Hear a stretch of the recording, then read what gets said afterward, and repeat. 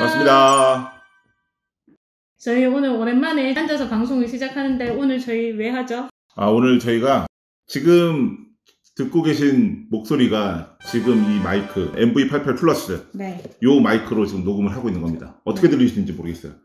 저희가 사실 마이크를 되게 많이 바꿨어요. 음. 이게 지금 제가 써보는 게한 7번, 8번째?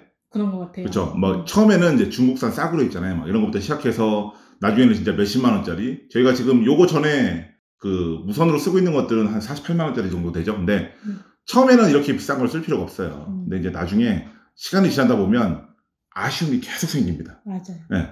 특히나 이제 저희가 휴대폰으로 보통 많이 촬영을 하잖아요. 휴대폰을 촬영을 해야 되니까 라방 같은 거 할 때 멀리다 놓고 촬영을 하게 되면 소리를 크게 내야 돼요.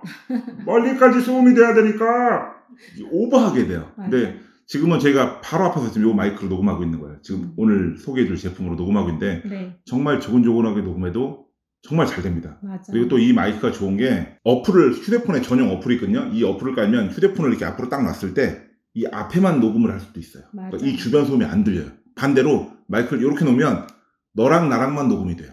이 앞뒤 위아래가 또 녹음이 안 돼요. 그러니까 지향성을 갖는다고 그러죠. 음. 이 지향성도 설정할 수가 있어요. 맞아요. 전용 어플을 통해서. 그래서 여러분들이 라방 같은 거 할 때 막 켜놓고 하는데 막 주변에 시끄럽게 떠들면 소리가 다 들어가서 막 결국엔 아- 마이크가 아무리 좋아도 안 되잖아요. 근데 이거는 지향성 설정으로 해서 소음이나 이런 잡음을 제거하고 안정적으로 좀 방송을 할 수 있습니다. 라방 하시는 분들한테는 진짜 좋은 장비인 것 같아요. 그리고 맞아요. 또 제가 이걸 써보면서 느낀 건데 제일 좋은 게 뭐냐면 보통 그 USB 단자로 돼 있어요.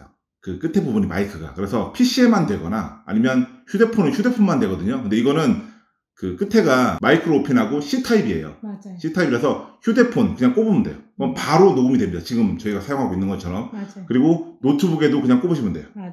예. 그리고 그런 케이블이나 이런 것들을 응용해서 여러 가지 카메라든가 데스크탑, 노트북, 휴대폰 이렇게 전천후로 사용할 수 있는 몇 안 되는 제품 중에 하나인 것 같아요. 맞아요. 그래서 저희가 이 제품을 지금 리뷰해드린 이유가 삼아 D&I 쪽에 저희가 연락을 먼저 해서 이 제품을 리뷰해보고 싶다고 했어요. 왜냐면 저희가 검색을 막 했어요. 하다 보니까 마이크가 필요하더라고요. 이렇게 휴대폰을 놓고 촬영할 때. 근데 마이크가 휴대폰 전용으로 나오는 것들은 너무 막 허접한 거 있잖아요.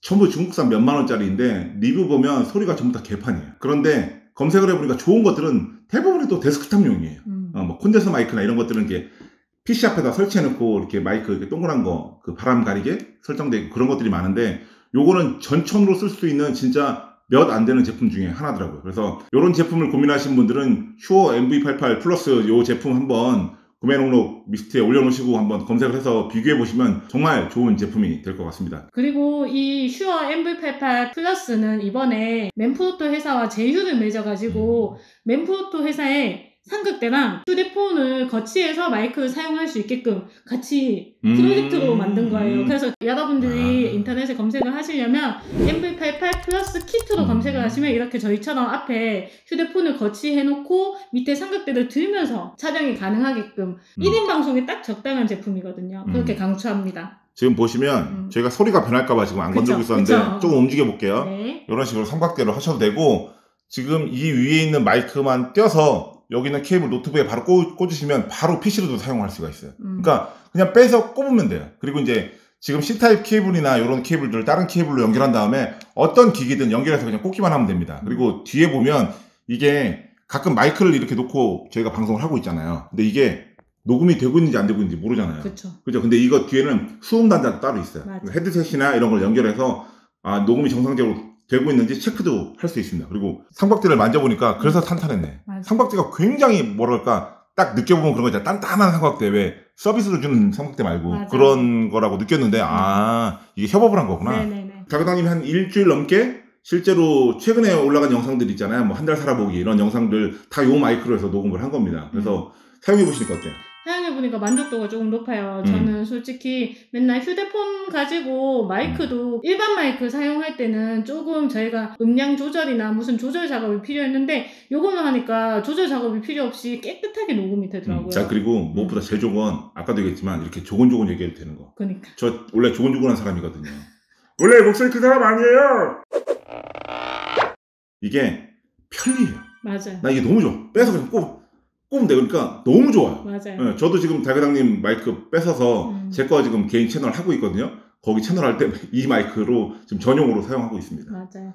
그리고 저는 이거 아직 야외에서는 촬영을 한 번도 해본 적은 음. 없어요. 그래서 앞으로 혹시나 저희가 시간이 나서 박람회 같은 데 갔을 때 이거를 가지고 직접 사용을 하고 후기를 또 나중에 여러분들한테 알려드리도록 하겠습니다. 그리고 제가 들어봤는데 너무 가볍더라고요. 그래서 야외에서 촬영할 때 원래 삼각대 쓰면 짐벌은 무거워요, 저는. 여자 그렇죠, 입장에서. 그렇죠, 어. 그렇죠, 그렇죠. 무거워서 사용이 조금 번거로운 감이 있는데 음. 요거는 짐벌 겸 마이크로 사용이 되니까 너무 좋아요. 여러분들이 지금 이 보고 계시는 것 중에서 요것만 마이크입니다. 요, 요 부분만. 음. 요, 요게 마이크가 다예요. 어, 저희가 지금 요걸로 녹음을 하고 있어서 지금 못 빼서 보여드리는데 요게 답니다. 요거 똑 떼어내면 마이크 요게 전부 답니다. 그러니까 굉장히 슬림해요. 근데도 불구하고 콘덴서 마이크입니다. 콘덴서 마이크. 그래서 굉장히 고음질의 수음이 가능한 그런 마이크들이니까 앞으로 저희가 그 박람회 같은데 갔을 때 지향성 음. 이런 것들 테스트해서 한번 추가로 올려드리도록 할게요. 네. 네. 오늘 영상은 저희가 이렇게 1인 방송에 적합한 마이크를 한번 소개를 해드려 봤는데요.